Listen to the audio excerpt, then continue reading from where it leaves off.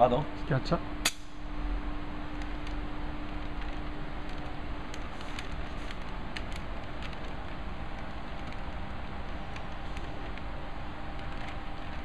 Stoppa.